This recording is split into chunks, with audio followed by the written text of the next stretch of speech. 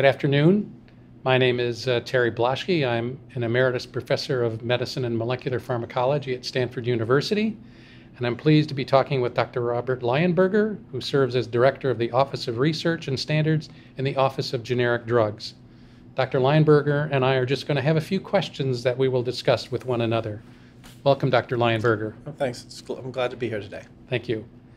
Uh, as a, a, director in the Office of Generic Drugs, uh, I have several questions that I wanted to talk about in terms of, of the uh, concept of generic drugs, and uh, in particular to discuss some of the things that you do in your office uh, with respect to the uh, regulation of generic drugs.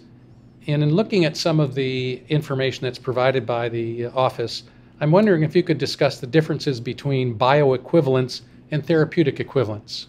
Sure. Therapeutic equivalence is the most important promise that we make when we approve a generic drug. It's the idea that the generic drug can be freely substituted for the brand product without any intervention from healthcare providers. Therapeutically equivalent products provide the same safety and efficacy. So when we say a generic product is equivalent to the brand product, we mean that when you use the generic product, you'll get the same safety profile, the same efficacy profile as the brand product. So it's really the therapeutic equivalence is really the most important thing that we do at FDA. But specifically, bioequivalence is part of the determination of therapeutic equivalence. So most generic products have to conduct what we call a bioequivalence study. And this is a study where you compare the rate and extent of absorption of the brand and generic products we, in, a sense, in, in essence, we look at how fast both products deliver the drug to the bloodstream, and we compare those statistically to determine that the products perform equivalently. So the bioequivalence study is probably the most important part of making a conclusion of therapeutic equivalence. But in summary, therapeutic equivalence is the conclusion that we make when we approve the generic drug. Bioequivalence is one of the many studies that go in to support that decision about therapeutic equivalence. Are additional clinical efficacy or safety studies ever required for a generic product application? And if so, when would you do that? So, by the regulations that govern generic drugs, clinical safety and efficacy studies aren't really allowed in generic drug applications. So, there are studies that we use, what we call clinical endpoint bioequivalence studies. So the studies in generic drugs always are designed to compare the brand and the generic product to ensure they're the same. So sometimes we'll use studies in patients that look at clinical endpoints, but we're never using those studies to demonstrate the safety or effectiveness of the generic drug. We're using them to compare the brand and generic product. So the core of our evaluations of generic drugs are always focused on equivalence. Safety and efficacy studies are done at the time the new drug is approved. The generic product has to show that they're equivalent to that brand product. They have to bridge between their product and the product that was used in the original clinical studies. That's how we demonstrate, that's how we ensure that the generic products are safe and effective, but we don't do new safety and efficacy studies on the generic drugs. Now, a generic product always contains the same amount of active pharmaceutical ingredient as the innovator product. Are there particular excipients in generic drug products that uh, raise a concern with the uh, with the uh, agency? So FDA always reviews the inactive ingredients as well as the active ingredients that are found in generic products. So generic products, they're allowed to have differences in their inactive ingredients or excipients, but this is part of the review when the generic drug product is submitted to FDA for evaluation. The first part of that review goes back to the bioequivalence studies I described earlier. We determine that these changes in active ingredients don't have any effect on the rate or extent of drug delivery of the active ingredient. But we also look at the safety of these inactive ingredients. So for generic drugs, the main way we look at the safety of the inactive ingredients is we look at whether that inactive ingredient has been successfully used in another FDA approved product for the same route of administration at the same exposure level for the excipients. And when we know that that excipient exposure level is safe from that information, then we know it's okay to use in a generic product. If a generic company wanted to use an excipient beyond those known safe limits, then they would have to submit extra safety data to FDA in order for them to be approved, or we might ask them to instead submit their, their product through the new drug application pathway if we couldn't assure the safety of the inactive ingredients. So inactive ingredients are part of the evaluation of the generic drug of every generic drug application review. Many generics are actually manufactured outside of the United States, especially in India and China. What is the FDA doing to assure the ongoing quality of such products? FDA is always in, always concerned about the quality of every generic product that's approved. One key aspect of our new user fee agreement that was just signed in 2012 is what's called inspection parity. And this is inspection parity between sites in the US and overseas. And so the new user fee agreement provides resources to FDA to guarantee that the likelihood of a site being inspected is independent of its location, whether in the US or overseas. And even before that is fully implemented, the manufacturing sites for generic drugs, wherever they are in the world, have to meet the same standards. If an inspector goes to a site in the US or an inspector goes to a site in India, they apply the same standards, and the products manufactured at those sites must meet the same standards of quality. But globalization of the pharmaceutical supply chain is something that, not, that doesn't just apply to generic drugs. It also applies to branded drugs as well.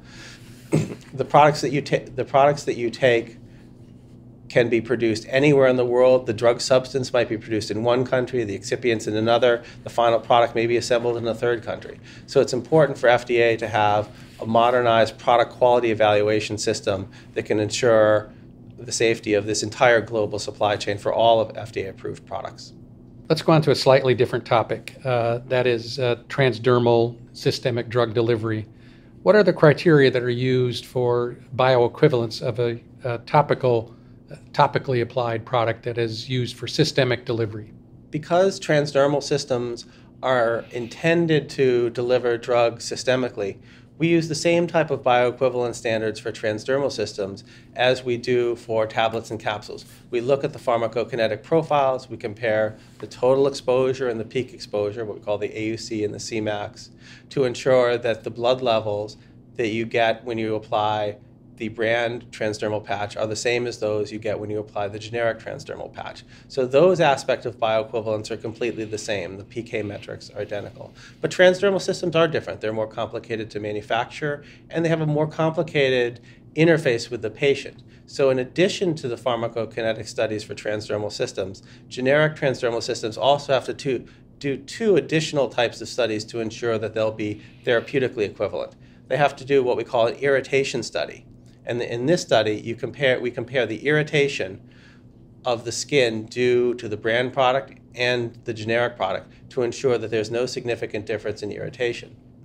The third study that we do for transdermal systems is we do what's called an adhesion study. So for a transdermal system to work, it's got to stick to the skin. If it peels off early, it's not going to deliver the drug needed. So we also do a study that compares the adhesion between the brand and generic products to ensure that they're equivalent. So transdermal bioequivalence involves the same pharmacokinetic exposure comparisons that we do for oral tablets and capsules, but has additional therapeutic equivalence studies related to the specific aspects of the transdermal dosage form. Many active agents are now administered as prodrugs. Could you discuss the criteria for approval of a generic version of a prodrug? Generic versions of prodrugs have to meet the same bioequivalence standards as drugs that aren't prodrugs. But when we are developing the standards for bioequivalence for a particular product, we have to make a decision. In the pivotal bioequivalence study, should we measure the exposure of the prodrug or exposure of the active ingredient that is the result of the metabolism of the prodrug. And we make this decision on a case by case basis. We look very carefully at how the prodrug works when it's metabolized to form the active ingredient. But the goal, but since the goal of the bioequivalent studies is to ensure the formulations deliver the drug in the, to the same rate and extent, we generally prefer to measure exposure to the prodrug because we know that once you have similar exposure to the prodrug, then its conversion to the active ingredient will follow directly from the exposure to the prodrug. So FDA's default approach is to measure is to measure and compare exposure to the prodrug. But there are cases where it's not possible to measure the prodrug, for example, when the prodrug is converted to the active ingredient very quickly. And so in those cases, FDA would evaluate bioequivalence based on the active ingredient. But this is a case by case evaluation that's made by looking at each particular product to determine the most appropriate method to demonstrate bioequivalence. One final question that I have. Uh, what bioequivalence or other criteria are used for the approval of a generic product that is used for local airway delivery or given by inhalation for systemic or local effects? Bioequivalence of inhalation products is one of the most important areas that my research group is working on. We've recently provided guidance for the first guidance to provide information to generic sponsors on how to, demo- how to demonstrate bioequivalence for inhalation products. And because of the complexity both of these products and where they're delivering drug to. This is a complicated multi step process to show bioequivalence. So, the first step in this bioequivalence evaluation is to evaluate what we call the device performance. So, these are laboratory tests where we look at how much drug the inhalation device admits with each puff, what the particle size of that emitted material is, and how consistently the device admits drug from dose to dose. But this isn't the only part of bioequivalence. The second part is we look at the systemic exposure after a, after a person takes the product. So we measure how much of the inhala, inhala, inhaled drug appears in the blood. This is important both because it tells us that the drug has reached the lung, but it also tells us something about the systemic safety of the drug in terms of how much exposure a patient will receive from both the brand and generic.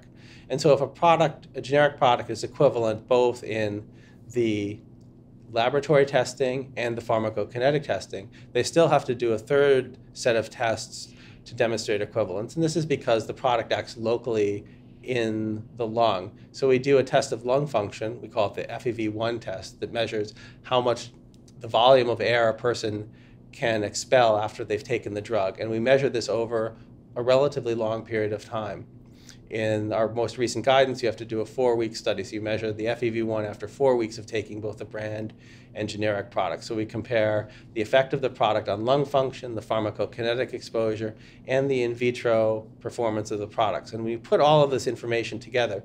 Then we have very strong confidence that those two products are delivering drug to the same regions of the lung. And that's the essence of our bioequivalence determination that the rate and extent of drug delivery to the site of action is the same. And so, for these more complicated products, it takes a lot of information to make that conclusion.